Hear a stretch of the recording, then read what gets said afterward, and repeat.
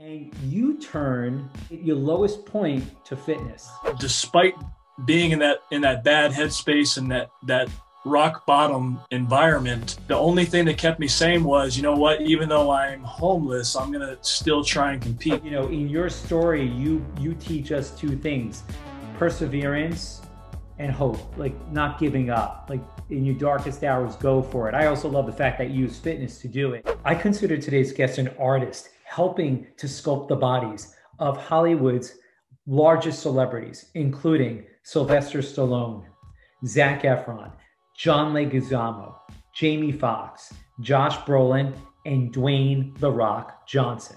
Aaron Williamson is an American actor, a world renowned fitness trainer, and most importantly, a U.S. Marine Corps veteran. Hey, Aaron, welcome to On Call with Dr. Dave. Thank you so much for taking the time out of your busy schedule to join us and the viewers. I appreciate it. It's good to be on with you guys. You have an amazing story. I, I feel like a little bit of a stalker. I went on your website, I've been reading about you a lot.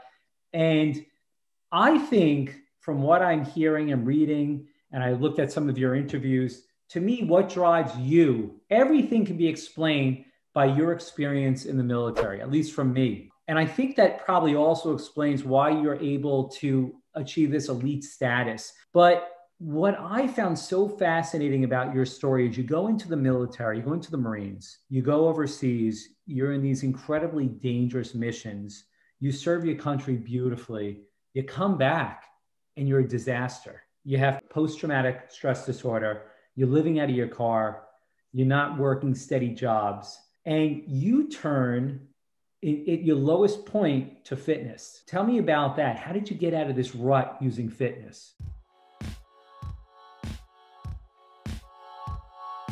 So I got I got bit by the the fitness bug when I was deployed to Okinawa, Japan. I was on Camp Schwab back in 1999, and uh, I had this goal that was to become a professional bodybuilder.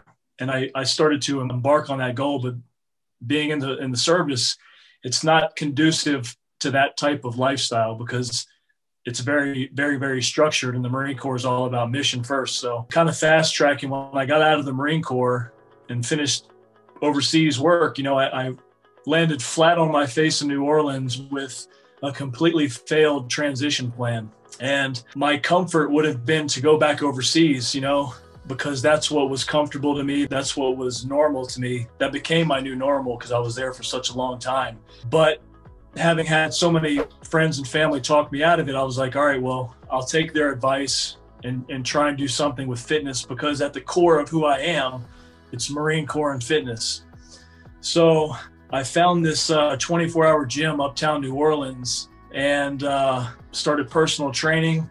I was homeless at the time and uh, despite being in that in that bad headspace and that that rock bottom environment the only thing that kept me sane was you know what even though i'm homeless i'm to still try and compete. So i kept my head in the game by prepping for the mr new orleans bodybuilding competition which was a local show. And in my mind i felt like if i can come out of this and win this show and be mr new orleans I can start to rebrand myself as something new and also kind of get my name out in the community through fitness because New Orleans is not known to be a very fit place. So I was kind of embarking on this new this new goal now. And in, in the meantime, what happened was I fell in the middle of the film industry. So a lot of things kind of simultaneously happened, but it, it goes back to, uh, you know, occasionally I'll say, if you just stay true to the things that you love, some doors will eventually open of some sort or some opportunity will be there. And that's kind of what I lived off of is just that hope and faith that that would happen. And sure enough, it did. Man, I love that because, you know, in your story, you, you teach us two things, perseverance and hope, like not giving up, like in your darkest hours, go for it. I also love the fact that you use fitness to do it.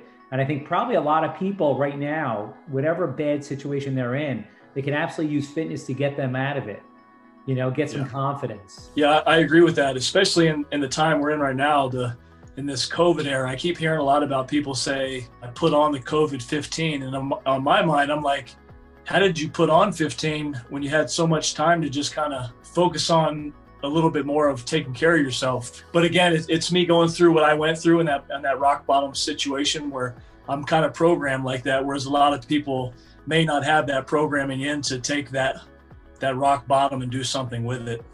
Yeah, totally. You know, as a cardiologist, and you know, I see a lot of patients every day and going into the hospital.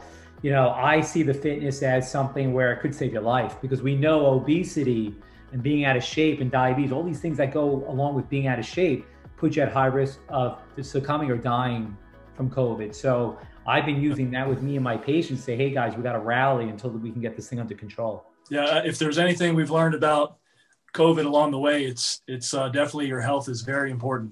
Totally. Yeah, absolutely.